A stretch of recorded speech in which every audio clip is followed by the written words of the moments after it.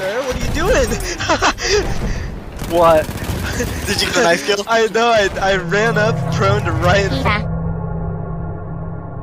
The horse is here. front of him, and oh! Holy!